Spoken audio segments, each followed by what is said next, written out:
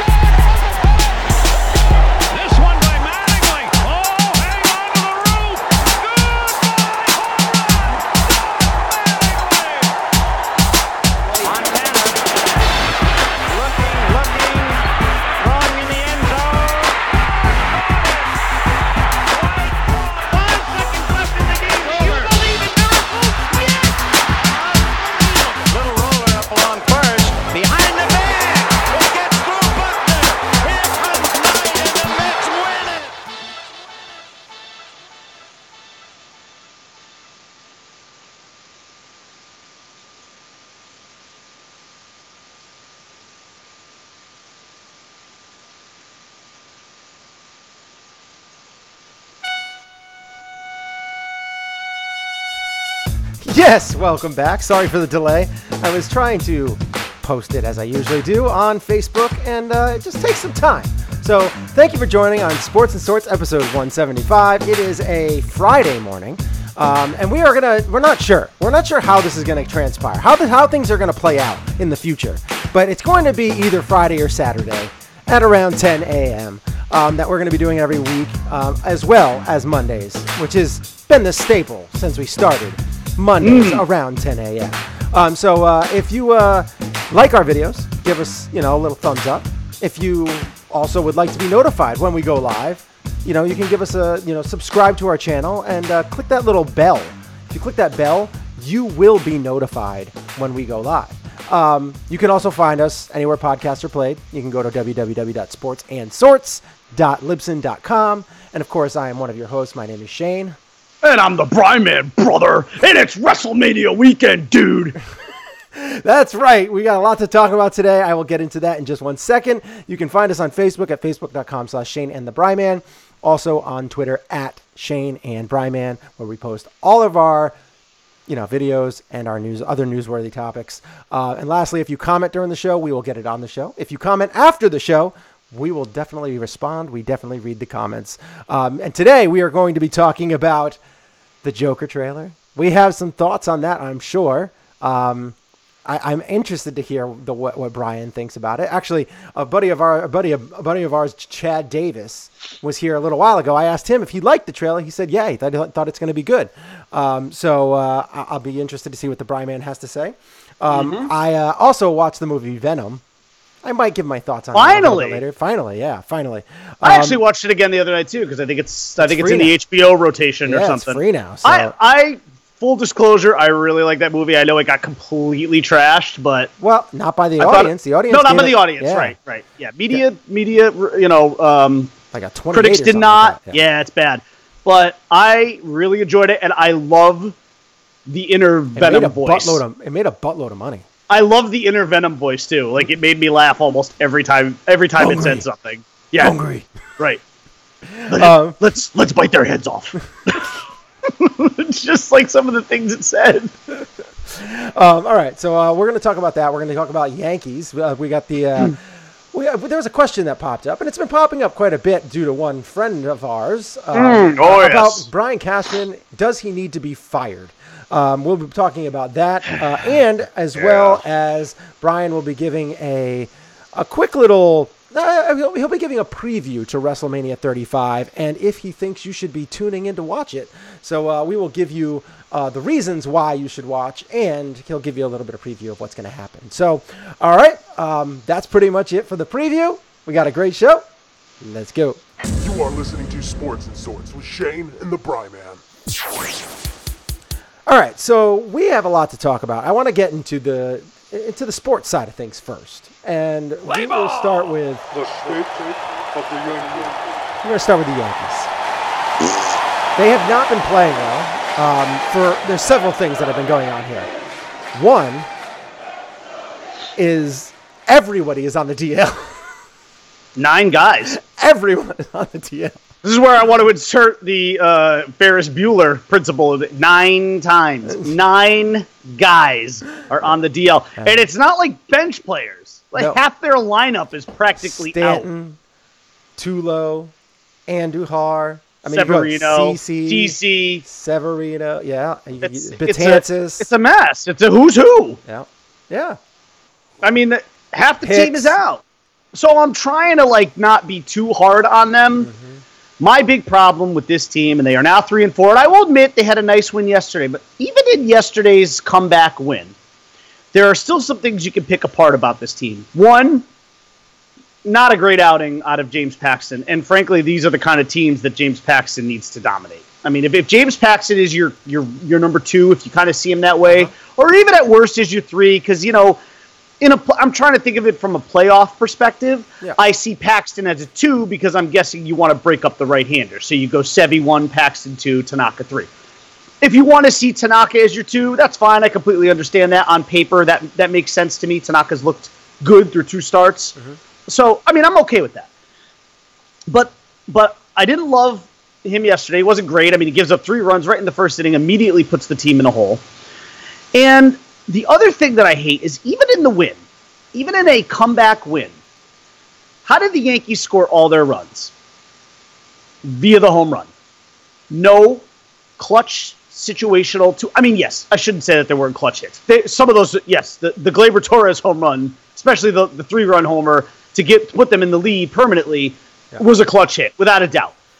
But this team, when they get runners in scoring position, when they get guys on second or third with two outs, they very rarely come through. It is a disturbing trend, and it's a trend that's it's disturbing because it's continuing from last year. And you know the other part about this team that you hate, I'm sorry, I, I hate it. I don't care what Brian Cashman says. I don't care what he says about his this the talent within this right-handed lineup. If you are a Yankee team and you do not have at least. And I know that when Hicks comes back, he's a switch hitter, so that you know he'll play into this. But if you don't have at least three to maybe even four lefty-handed hitters in that lineup, you're not doing yourself any favors. You are doing your you are doing yourself a major disservice when you consider the right field porch in Yankee Stadium. I mean, It's the anti-Stick Michael.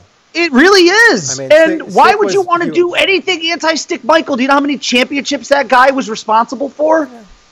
I mean, I mean, that guy also signed Spike Owen, but I mean, all right. I mean, yeah, well, we can pick everybody apart. I mean, if you want to go tit for tat with you know bad signings, we Yeah. can go up and down. We can, Oh, we there's can go ton. all day with Brian Cashman if you want. wow.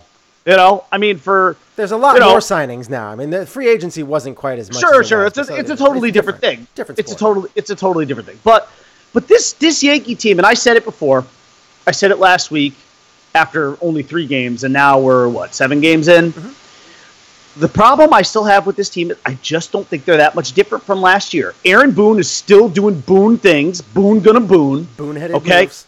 Yeah, he's still making those Boone-headed moves. Two, they still are uh, they they are still a completely their offense is completely dictated. They live and die by the home run, which is very very dangerous for any any team, especially if you're trying to make a long postseason run. My brother and I were talking about this yesterday. We're like, how many home runs, like how many big home runs do you actually remember the Red Sox hitting in the postseason last year? Really wasn't their mo. That's not how they won ball games. Their now their offense could beat you to death, and they did primarily win with their offense, but it wasn't because of the home run. Right. The Red Sox got big hit after big hit with two outs. Go back and look at it. It's an astonishing statistic. I think almost half of their runs scored in the postseason, I want to say, came in the clutch with two outs with like runners on second and third. Like that's how clutch the Red Sox were.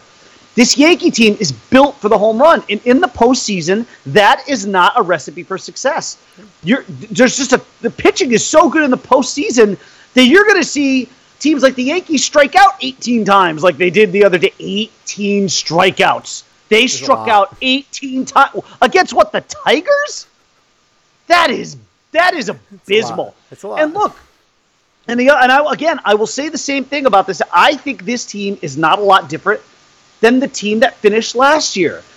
They they hit home runs, great. They strike out a lot. They do not particularly hit in the clutch.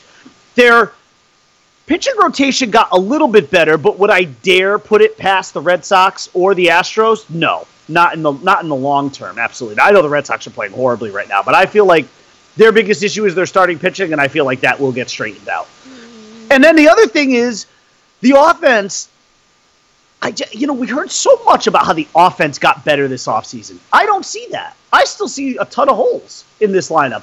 And again, I see a mostly right-handed lineup in a t in a, where you're playing the majority of your games in a stadium where you should be trying to get left-handed hitters, not even necessarily power hitters, because you don't have to actually be a power hitter to hit home runs in Yankee Stadium. Mm-hmm. But but not even so much just for the home run thing, just for balance in the lineup.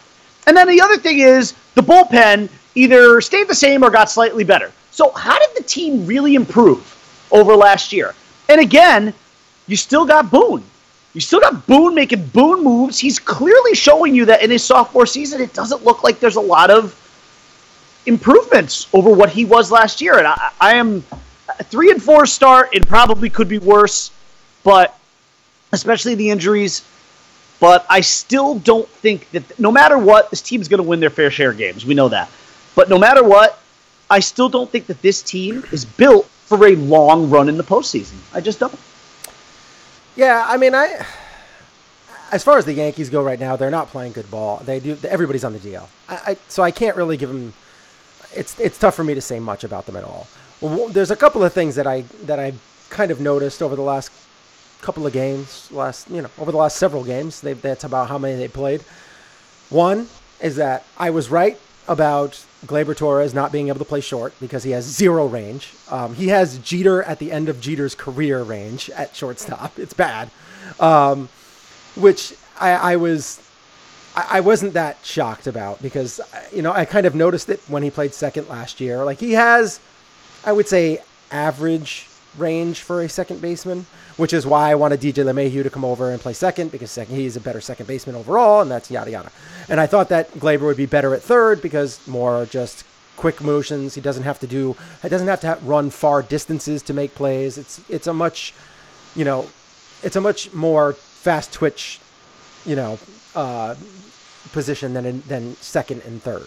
I mean second and short.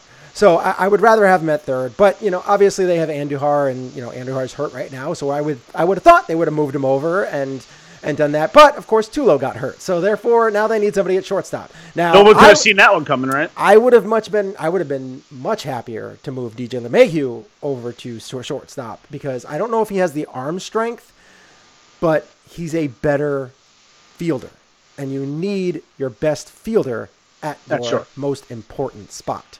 Um, And particularly if he can handle the load with his arm. And I think he could. He is a professional baseball player. He can turn double plays. He's got a strong enough arm. Um, it's not, I mean, it's not like Gabe Gleyber Torres has got a cannon. So um, whatever. It, it is what it is. I, I've been, I I just, I want to see Gleyber get put in the spot that he needs to get put in. And it seems like there's just some kind of oversight there. I don't know if Yeah. it's Boone, Cashman, upper management, whoever. I don't know what's going on, but it's there. But then the other thing is Voit.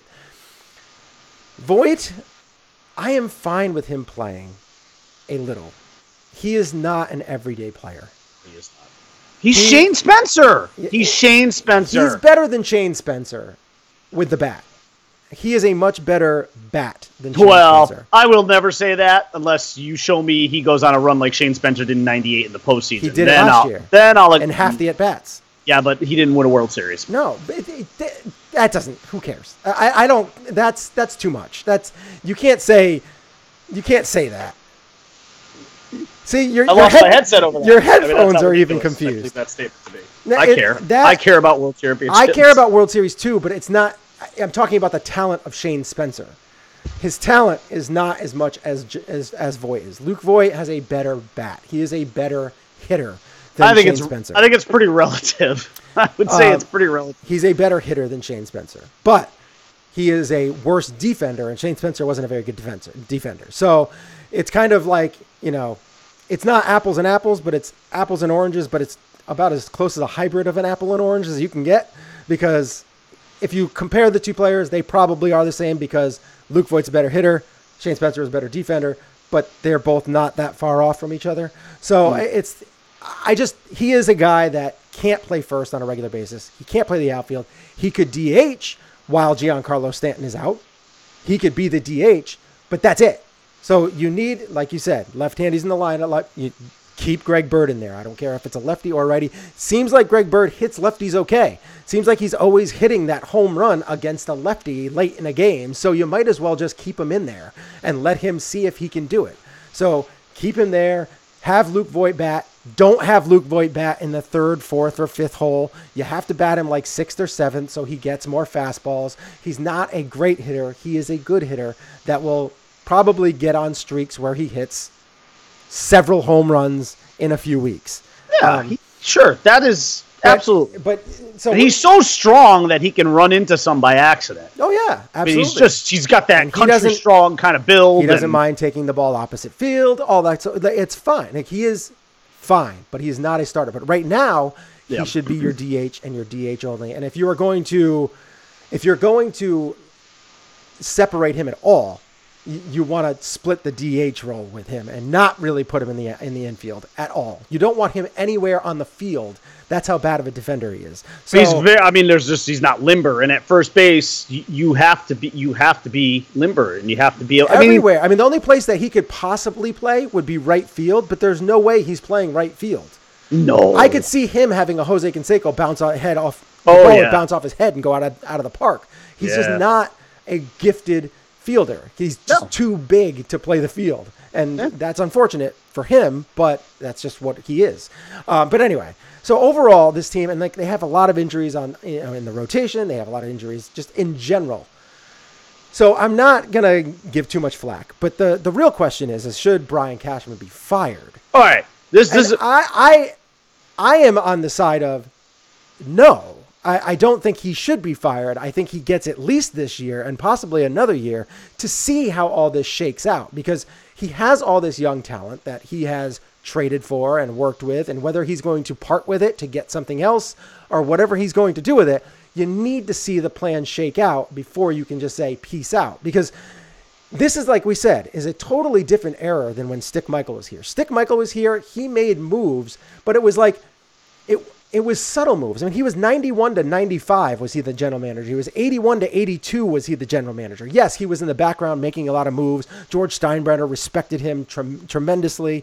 You know, there was a lot of I'm sure he relied on- him for a lot of interest. I, he sure was a great scout. he was he was just a great eye of talent. Like he Yeah, he was. he, he had he was great at that. Yep. Now That's his shtick. no pun intended.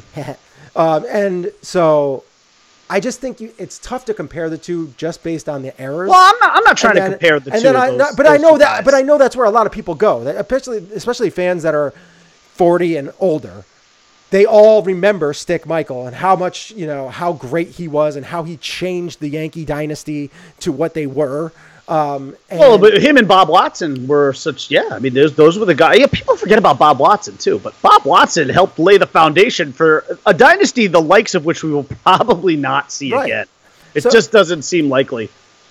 You know. So yeah, Uh, I mean, it's it's overall. I just think you can't you can't do it yet. It's a different time and a different era, and the, the, their analytics are used with every team now. Stick was all about. He liked analytics.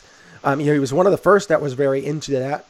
And the um, unfortunate thing is everybody is in analytics now. Oh, yeah. Every single team has Yep. teams of analytics. You know, uh, you Here's- know, so it's it's it's kind of tough to to really compare the two because everybody's on board. It's like who is doing what's next. And right now, Cashman is trying to rebuild, get some younger talent, and then mix in some older talent. The problem is he hasn't right, found the right mix yet.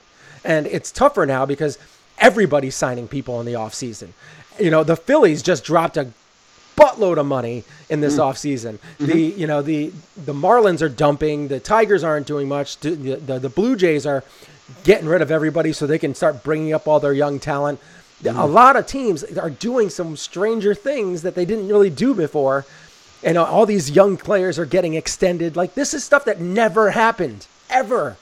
And it's changing. So it's tough to just say, you know, and I don't know how the Red Sox have had had had so, so much success over the last I don't know 15 20 years but they years. have and it's fine you know they have also had some bright minds in there you know with Theo Epstein Sure they have. and Sure. um I, I what's his name um the the analytics genius. Uh, Oh, James- Cherington. No, Ben- no. Ben Cherington, no. No, the the uh, something James. Well, Cherington was their last GM after. It's not the G- not the Dombrowski, right? GM. It's not the GM. It's the analytics guy. And I Yeah, I don't know can't remember the guy's name right now. I'm sure of my head. Tim. I'm sure Tim or Damien would know if they were listening. Yeah, I think I to not. Um, but um, uh, well, that, and now they have La Russa in their front office too. The man who I believe is Yes. the greatest manager of all time. Yeah. Here's where I stand on Cashman, and I'll make this very quick. There was a time when I thought Joe Paceno, our friend, was crazy. Every time he would send a text and say "fire Cashman," and you've seen these texts a million times because they're usually one letter at a time, so it's like really annoying. get like you get like you get like you know eleven texts in a row: F I R E C A S H N A N, and it's just like okay. He's gotten And I- good you at know- it. They come rapid fire. Hey, They do come rapid fire. It's it's impressive that he can fire off eleven of those before anybody else gets a word in. but but um, here where I stand is I to me, this is do or die year for Cashman. I'm not necessarily saying they have to win a World Series, mm-hmm. but I would say anything short of an LCS berth or maybe even a deep LCS run again, like they did in 17 and or a World Series appearance. I would say anything short of that. But bottom line is, if you end up where you did last year and you lose in the division series, I think it's time to move on. See, general managers, and and and you know, I'm starting to come around to the Joe Paceno line of thinking, which is that if you really want to boil it down, Brian Cashman, although he yes, he's got many championship rings, technically he's really kind of only responsible for 09. And the truth about the 09 team is that I've said this before, you or I could have managed that team to a World Series title. They went out and they spent half a billion dollars on Teixeira, Burnett, and CC. You could say And- that about a lot of and- World Series teams, and- though. I- I'm not. I'm not taking. feels. I'm not taking the credit away from him. But the truth of the matter is that team was still technically built on the core four. And those, by the way, those core four guys, they may have been older, but those four, those core four guys were incredibly responsible. Yeah. Very much played a huge role in that 09, especially Pettitte, Pettitte, who yeah. Mm-hmm. won every clinching game in every one of those postseason series. Jeter hit like 300 again in the World Series. Shocking. Yeah. Uh, I don't even remember. You know, honestly, I don't even recall off the top of my head what Posada did in that series. But we all know Mariano was Mariano when he closed out. He closed out Game Six, Yep. and so that that that core four was still. They were they weren't just like these old hangers on. They were productive parts of that team in the lineup and in the bullpen and in the starting rotation. And so you could say that Cashman, and I, I'm not going to take 09 away from him, but the ones before that, after Watson was gone, and really after Stick Michael was kind of more removed from things. I mean, you're talking about 98, 99, 2000. Yes, Brian Cashman was the general manager of those teams, but man, oh man, was he ever riding on the coattails of of of the of a core, a big core that was that was put in front of him. In many ways, to me, it's sort of like Barry Switzer riding on Jimmy Johnson's coattails when you talk about that. So here's my thing with Brian Cashman. It's a prove it year for him, big time, I believe. And if this team falls short of again, I won't even say he's got to win a World Series, but he should he should try he should get there. And if he doesn't get there, he better get to the LCS, and it better be a deep LCS run, a bit very similar to 17. But bottom line is Brian. I think general managers sometimes are like are like managers. Sometimes they just you need to move on from one. Even Joe Torre, as great as he was, and as much as I loved him, it was time to move on. Maybe sometimes GMs run their course. The game passes them by. They get too old. Either way, it may it might be time. And I am coming around to Joe Paceno's line of thinking. That's all I can say. And now you're walking away from the show. Why are you walking away from your responsibilities? Was it something I said? I don't know what I said. Did I say something? I don't know what I said, but I said something. But Brian Cashman should be gone. He should be gone. I'm just not. I'm not feeling Brian Cashman anymore. And I do. I think that you have to sometimes recycle a GM every now and then. They just. It's like anything else. These guys run their course. And again, I go back to the way that Brian Cashman put this team together at the beginning of this season. And to me, I just I saw uh, the only area I saw improvement in was an area where they were already strong in the bullpen. Their bullpen was already on paper the best bullpen in the game. He lost a couple of guys, but then he refortified it by you know bringing in a guy like an Ottavino, and the bullpen and, and bringing Zach Britton back. So the bullpen remained intact and remained very strong. But if you look at the lineup, you know, and you you plug in, he plugs in all these. First of all, brings in I don't know how many middle infielders a team needs, but I've never seen a team with more middle infielders on their roster. And as much as I like DJ LeMahieu, and he is a good contact hitter, and that was more of what the Yankees needed. The bottom line is he he he over he overstocked at that position with more right-handed bats. And to me, he brought in Paxton, and that was a great move. But then beyond that, you know, he brought CC back, and you know he brought Happ back. And if you look at the Yankees rotation, although it was good at the beginning of the season on paper, there were still a lot of question marks. And I think the Yankees could have benefited maybe from a guy like Dallas Keuchel, who still remains unsigned. I would feel better about Keuchel being their fourth or fifth guy than I do about CC. I mean, CC could have a heart attack in the middle of a field in a mid-August game. I'm just saying, Brian Cashman to me made a lot of questionable decisions this year, yeah. and I think he is absolutely on the hot seat.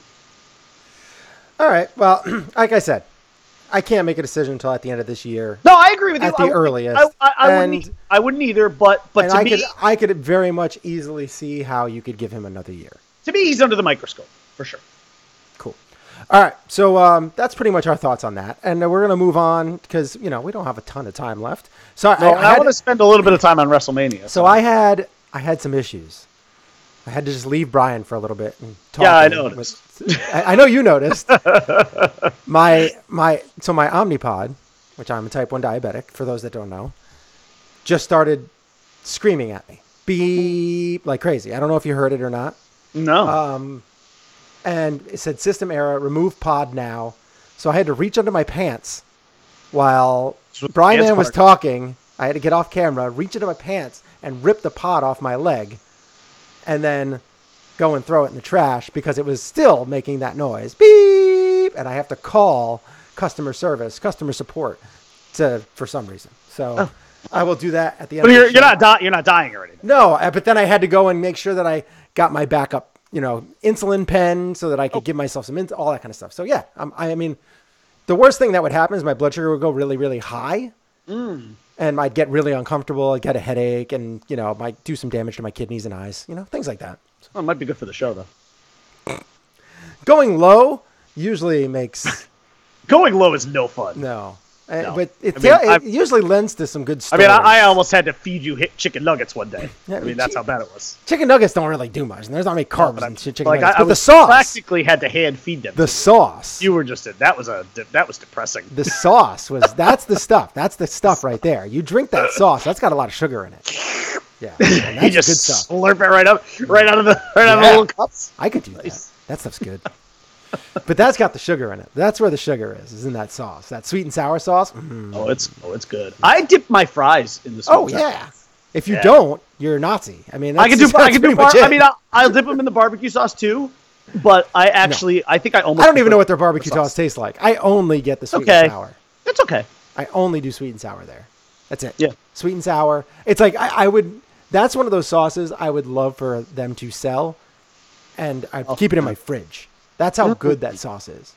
But yeah. it goes so well with their nuggets. I just, all right, let's move on. All right, so let's get into uh, a little. Well, uh, let's talk about sorts. Let's get a little sorts action in. Where do you think you're going? I'm going to sort it out. There we are. Um, Joker trailer. Uh, oh. Yeah, mm. go ahead. Go ahead. Give me your thoughts. I would be. I'm, I'm interested to hear. I will tell. So when they first announced that this movie was happening, well, actually, the, my first reaction was just sort of shake my head at it at it all because I was like, man, DC is such a hot mess. They already have Jared Leto as the Joker in like one part of their universe, and now they're creating a completely new Joker movie that is devoid of anything that's going on over there with Suicide Squad and all that stuff. And I'm thinking to myself, God, this is just going to be a mess. I mean, when I first heard Joaquin Phoenix, I love Joaquin Phoenix. I think he's a weirdo, free spirited kind of guy, and he amuses me. Free spirited? That whole, no, just a weirdo. he's definitely a weird dude. That whole thing that he did with that that I, I fell in love with him when he did that whole thing with Letterman, when he was just like when he was on the Letterman show Mm-hmm. and he was just with the beard and the glasses and just totally silent. Yeah. and it was super awkward. I just thought that was hilarious. um, but but you know, listen, I, I, he's a great actor. So when he was cast, I was like, okay. I mean that that could be a very Fits. interesting choice He's a good actor. definitely fits. And but I really still I still got bogged down by this whole idea that DC is just tripping over itself. Like just they just don't know what to do. And I've kind of been holding on to that, even though I've sort of been semi excited for this movie because again, I love Joaquin Phoenix and I think he could be a guy that could really knock this role out of the park. Then I saw the trailer and now I'm in I can't wait mode because this movie to me looks spectacular. He looks perfect for it. Mm-hmm. His body is all skinny and gross, and he looks just like nasty and mm-hmm. emaciated, Yep. which is kind of what you think the Joker. I mean, really, how he- how he probably would look like without his shirt off and everything. Like, and and he just is so. He's the laugh is phenomenal. He has nailed the Joker laugh. I mean, really, really good. And it almost see and, and you only kind of get it in like a couple of clips, but it seems relatively effortless. And as much as I still love Heath Ledger and Jack Nicholson, I still think they're great Jokers, and they are they are great Jokers. Um, their laughs were they were both very good, but they almost seemed I don't want to say forced, but they seemed like more effort had to come to, to create them. Whereas I'm hearing this this Joaquin Phoenix laugh, and I'm like, this just sounds so perfect and like so natural almost coming out of him, especially that scene in the subway where they're kicking the crap out of him and he's like lying on the ground and he's just laughing. It just, I was like, wow, that's the Joker, like right there. I, I'm very excited for this. He's got a lot. Don't get me wrong. He, there's a lot. There's a there's a big mountain for him to climb here because again, Joker has been one of those roles throughout the years that has been played by many a worthy individual, and not just even in live action, even in animation. Mark Hamill is a tremendous Joker in animation. A lot so of people think he's the greatest Joker. there's a lot. I mean, yeah, exactly. Like there are people that make arguments for that. I'm still kind of on the Jack wagon, you know, but I also admit that Heath Ledger's performance was just For me, other- it's, for me, it's. Heath, Ledger's hand down the best You by know. far. Like it's not even close for me. But like That's how good he even, was. but even Cesar Romero has a great legacy as a Joker. It's a different- but it's- yeah. yeah. I mean, it's so this is uh, you want to talk about like a big mountain to climb for a for an actor to take on a role that has been portrayed very well by many other individuals. Uh, but I think he's going to be up for the task. And th- to me, this movie and this sort of origin story looks very good. It looks dark. And, you know, I know DC has been accused of being maybe a little too dark, but this might be the kind of movie where that's very appropriate. Yeah. Um, but it looks great, and I'm very curious to see how it plays out and to see, like, the kind of. Gotham City seems to be a, a, a city, you know, as we all know, it's in a lot of pain and is just sort of corrupt and and beaten down. And this looks like a great origin story to me. I, I I'm I'm very excited. So I watched this and I was like, okay. I thought it was just okay. I thought the trailer was just okay. I didn't think the trailer was all that great. I thought it was kind of. I actually thought it was a little boring. Um, but I also I thought that you know obviously his laugh was, I thought was pretty good. I thought you know you know his look was pretty good. I thought you know a lot of homages like you know to his older look and all that. It looked pretty good. And I have no doubt that the film will actually be pretty good to great. There's a chance that it could be great. I think it'll, at the worst case scenario, it'll be pretty good. Um, my problem is, is that DC itself is just so incredibly confused. And not only that, they are confusing the casual fans, which are the people that actually spend all the money. Well, sure, you've got two Jokers now at the same time, Well, yes, you have two Jokers, and on top of that, and they're not related in any way. There's just no right. And on correlation. top of that, so now like you have these these people probably like um, a Joker, like that's not that's not Jared Leto. Like what? Right. this a standalone fit? Like, what is right. this? Is this That's the other big confusion question is Like, so and I are think you creating a new universe? Now are you going to have like these two universes running parallel to each other? yeah? And I like, and you know, they had they Because if this movie's a big hit, you know they're going to make a bat. They're going to put Batman in it at some point. Well, this is the problem: is that I believe that kid that he went and grabbed the cheeks of. Yes. I believe that's Bruce Wayne. Oh, do you think so? Yeah. Uh, maybe could be. So I that's my thought, that's my Good thought theory. on it. Is that that's Bruce Wayne. That's where he meets, meets him for the first time. Maybe. Um, you know all that. So I obviously they're they're supposed to be a little bit closer in age, but you know it is what it is. And Yeah, uh, um, there are as many iterations where the Joker, you know, they say like he's the person that killed his parents, and that's how it kind of all Well, in the Michael in the Michael Keaton one, yeah. Yeah, so like there are iterations of that. So there is we'll see how that all that all that transpires. But as far as this go, I think I just have the biggest problem with the DC universe and them not being able they're they're not helping themselves. They're shooting themselves in the foot. They're shooting themselves in the foot by doing this because now Can't are they just that. getting rid of Jared Leto? Are they going to move on because Ben Affleck and possibly Henry Cavill, you know, they're going to be gone? And you know, what are they going to do? Like, It's a mess. What is going on? They just, I, I gr- granted, this could be a really good film, but if it is, if this is a great film, why would Jared Leto want to come back? right. I know. Like, like at that point in time, like now you're gonna lose your Joker, you lost your Batman, you lost your like you're lo- This is just such a a bad what- scenario. And and may, maybe maybe what happens is you transition away from the prior universe and into this one, and maybe the, maybe. Maybe. the old one just ends. But, But, I- do you really think that Joaquin Phoenix is going to want to keep doing this No. role? No, No, no, he's no, a I don't- freaking loon. yeah, yeah, no, I don't see that. I don't So, see that. I- don't see because he. I can imagine him wanting to be a guy who would never want to be typecast, and he just doesn't seem. uh, I can't even imagine He'll do him. one picture and he's on. He's moving on. Yeah, moving on. Yeah, that's kind of how I see it too. So maybe two at the most, but I don't know. He doesn't seem like a sequel guy to me. I don't know. It He just, just doesn't. he doesn't seem like you can count on him kind of guy. Yeah, I, yeah. I mean, again, He's a he's weirdo. he's he is out there. Yeah. He's as out there an individual as could be. He's so I don't know. I- Outrageously yeah. talented. Th- This though. movie, th- I'm I am not excited for it just because of all the confusions it's it's you know causing for everyone. Because I mean, for me, I knew it wasn't. I know it's a standalone film. That's what it's supposed to be. It's not supposed to be a part of the DCEU universe. It's not supposed Right, to be. right. But then uh, why do it? But that in and of itself is a curious decision. like why do it? If you're gonna do Right. it, put it on Netflix or something.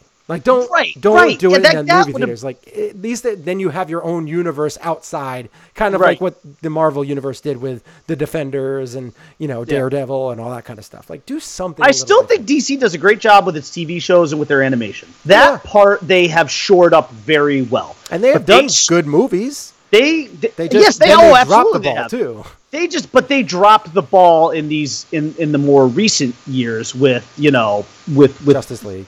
Yeah, and they have obviously they haven't all been bad. I mean, we think I think Wonder Woman was great. I think you and I both think relatively highly of Aquaman, and I I, think I thought Aquaman was excellent. okay. I thought Wonder Man was good. Wonder Woman was good. I thought I Batman vs Superman great. was I- good.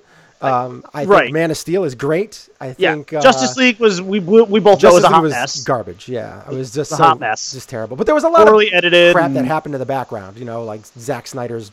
Uh, Yeah, there was, yes, child died. Yes, you know, from yes. suicide There was- and all that stuff. It's yeah. like there's a lot of stuff lot going of on. And then tragedy. Joss Whedon had to come in and take Yeah. over, and it's just like he screwed things up, It ju- and I like just Joss Whedon, weird. but it was just bad. everything was a little weird. So I mean, it's just it's just a th- they're just really messing things up. You know, trying to force the humor and stuff like that. Yeah, just just do what you do. I don't know. All right, um, let's move on. Get out of that because I wanted to just touch on Venom real quick. Watched it. It was okay. I would like a Um, would like a rating from you, if you don't mind. Venom, a Venom rating. Um, I'd probably get a five and a half out of ten. Uh, I think it's a forgettable movie. It's it's the animation in it was terrible. Like it was not good at all. Um, you know, like the the CG work that they did for Venom was not good. I thought it was actually better for Riot. Thought it looked better on him, but overall, I just didn't think it looked great. And then on top of that, I think if you want a better version of this movie, you go watch Incredible Hulk with Edward Norton, uh, because that is essentially a similar premise to this, like, and it's just a better done version. I think the animate the CG looks better too, and that was done several years ago. Um, it's just I don't know how this movie made so much money. It made a buttload of money at the movie theater. Um, I do agree it was. I mean, anything you slap that Marvel tag on, even if it's not in the MCU, it's, it's it was it was it's fun, still gonna. but like it made more money, money more money than the Thor movies made. Like it's, you know, I mean, I think it made like a billion dollars. It made a it- tremendous yeah, I amount think it of did. money. Yeah, no, it did. I mean, they're definitely making another one. So- there's no doubt about it. it's a it was it was fine. It was just forgettable to me. Like there was nothing that was gonna make me want to like go back and watch it again. Like I just went. I just recently watched. I I just recently watched Iron Man three again. I kind of went through the whole franchise because I wanted to revisit those movies. Yeah. Because I really hated two and three. I hated two a little bit less than I did originally, and I even watching Iron Man three, I hated a little bit less than I did originally uh, after giving it some time to breathe.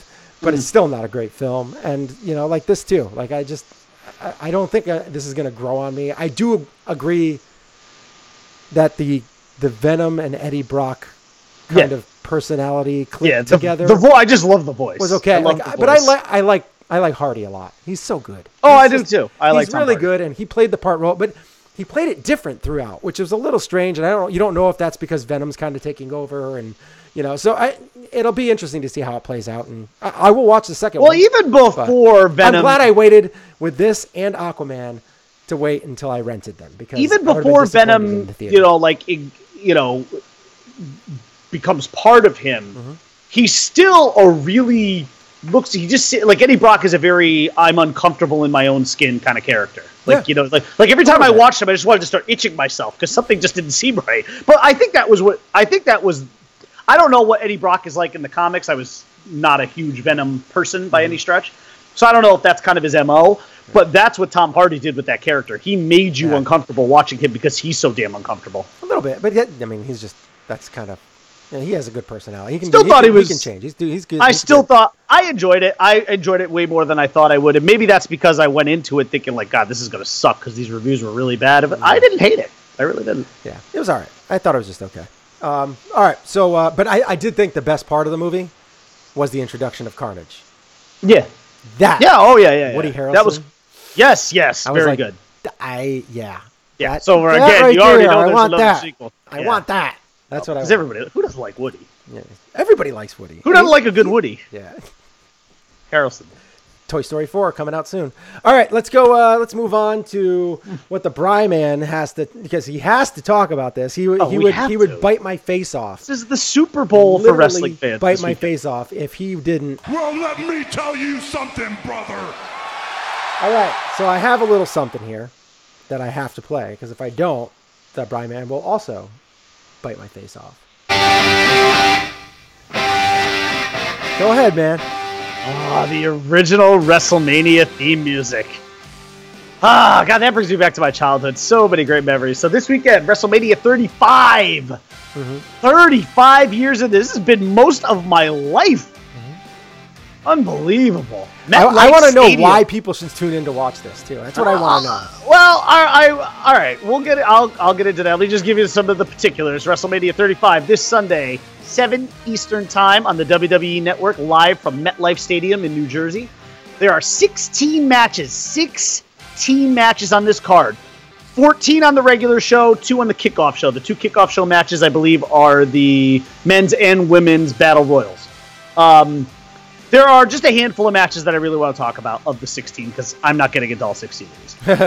the biggest match of the night, and quite frankly to me, the most intriguing one and the only one that really truly matters. Well, I shouldn't say that. There's to me, there's really there's there's two that really really are intriguing. But number one, the winner take all main event for the first time ever. The women of the WWE are main eventing WrestleMania could not be more deserving.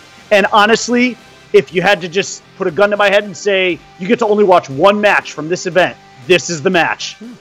This is the match because it's the Raw Women's Champion Ronda Rousey versus the SmackDown Women's Champion Charlotte Flair versus the man Becky Lynch. And all I can tell you is I don't care about any outcome of any other match. If the man does not walk out with both of those belts, that stadium is going to riot. They are going to bring down MetLife Stadium and and and they will have to rebuild that joint if the man does not win that match. Because there's no good reason for her not to. She's been the hottest thing in wrestling for, since SummerSlam of last year. So you're going on almost a year. And this, to me, needs to be the culmination of that story. I, I still think they screwed a lot of this up. I don't think Charlotte should have been part of this match because she didn't need to be. Mm-hmm. But they made her part of the match, and so now it's on paper bigger than ever.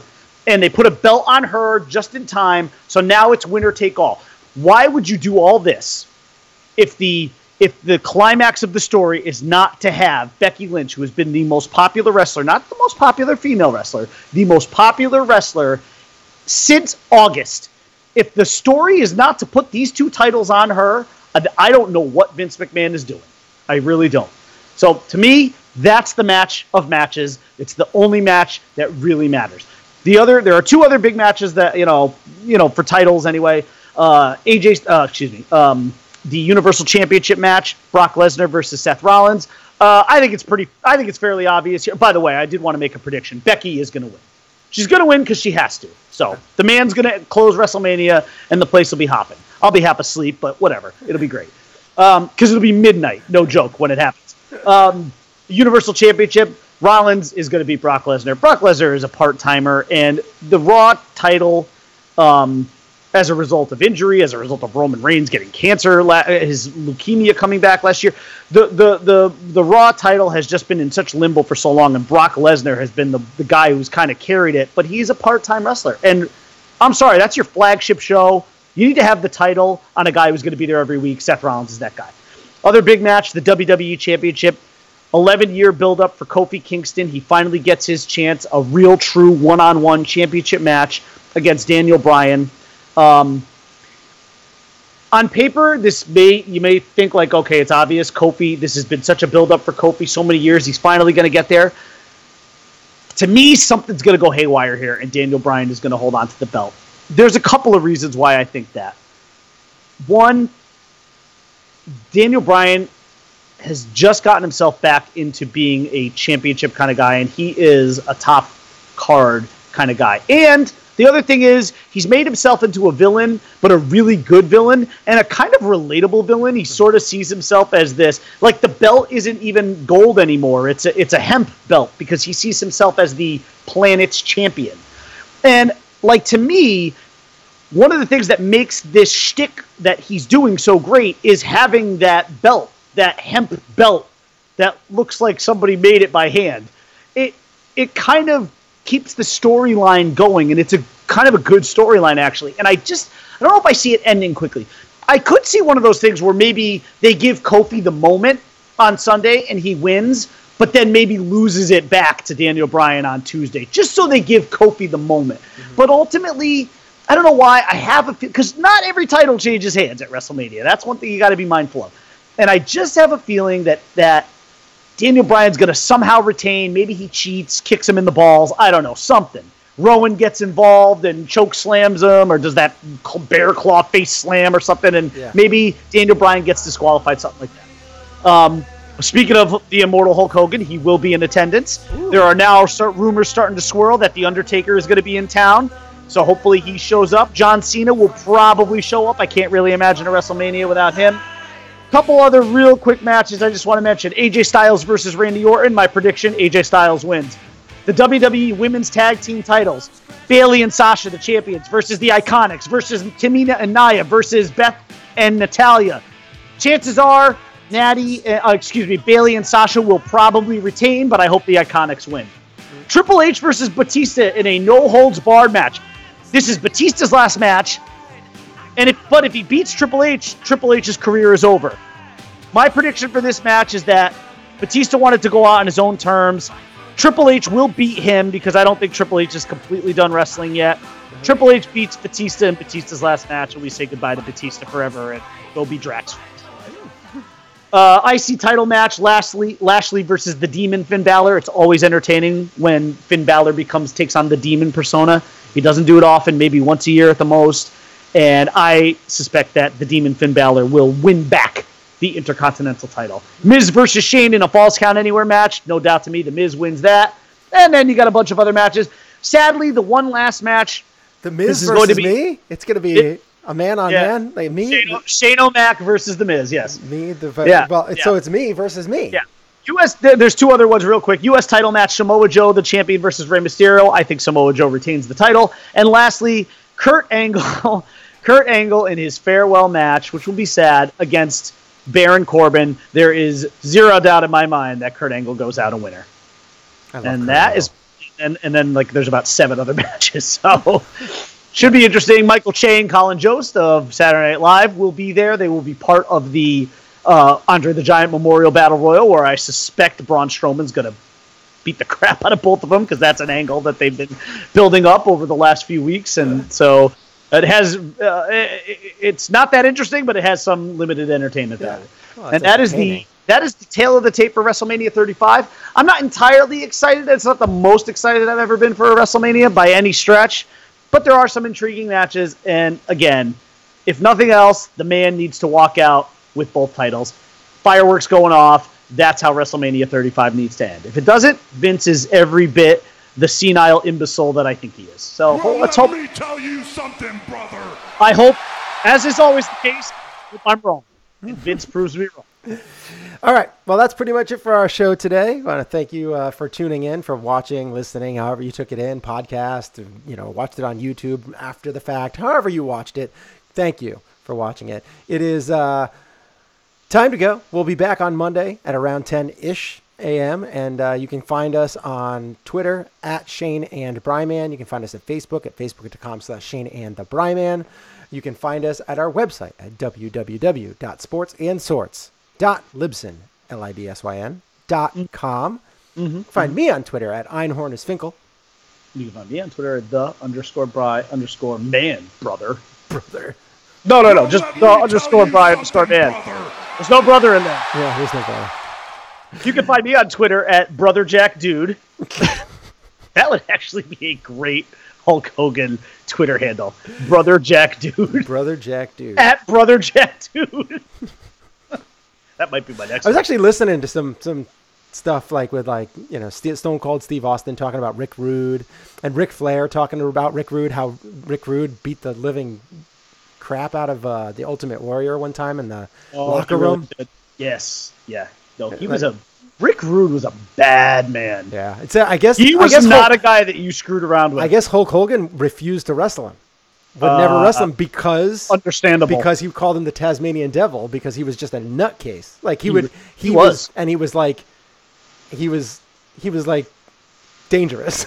He- oh, Not just a was. nutcase, but he was like dangerous. Like he could whoop you up. Yeah, I saw a clip the other day of some guy. This was, I think, when he was in WCW, and some jobber uh, gets in the ring with him. And I don't think this was supposed to happen, but you know, Rick Rude goes to kick him in the gut to start the match, and the guy catches his boot, Yeah. kind of holds it for a few seconds. And I don't think that was supposed to happen. And Rick Rude worked that guy over hard. Yeah. like you could see it was not. He was not pulling punches. It was not fake. He was hitting this guy hard. Yeah, wow. And that's the kind of guy Rick Rude was. You did not dick around with him in the ring. Yeah, but he was like supposedly like you know like smoke dope, you know, like that, like they enjoy the occasional uh, joint every once in a while. Not every once in a while, a lot. And he also was uh, fairly religious too, which is you know those things all go hand in hand. Yeah, right. Yeah, but like there was two two wrestlers, I guess that Hulk Hogan wouldn't wrestle, and it was uh, Vader and and Rick Rude. But he eventually ended up caving into Vader. Well, he did cave to Vader because Yeah. they wrestled quite a bit Right. in WCW. So yeah. they, they he caved in and, and he had, they had to they had Yeah. to put those two together. That was a matchup too many people wanted. but to he, he would never wrestle Rick Rude because he, was such a wild card. So he Yes. was- yeah. So and I, I, you know what? In his defense, if there was one guy that I would have tried to avoid too, if I were in that career, it would have been Rick Rude. yeah. But I, yeah, Absolutely. I guess I guess Rick Rude has like a, a wealth of knowledge as far as the wrestling goes and the business and everything like that.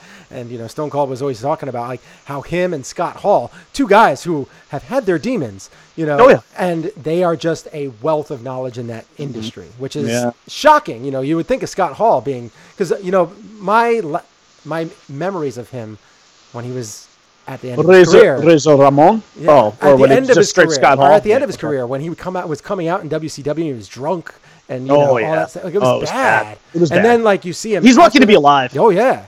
I mean, I saw that that uh, was it a documentary or something that, that was about him. I don't know if I Yeah. Mm-hmm. saw it on YouTube or something like that, but Yep, it yep. was brutal. And I was like, wow, Yeah, oh, he yeah. really did a lot of damage to himself. But He did. seem- he seems like he's getting himself back, like he's gotten himself back into a more right, Healthier, right of mind. you know, Yeah, although I do think he has occasional relapses. Though I'm sure. I mean, that's, I, it's, it's yeah. I think, I think, I think there's always a lot of eyes on him. yeah, there should be. A lot of a lot of guys trying to keep an eye out for him. Probably Kevin Nash is one of them. I think.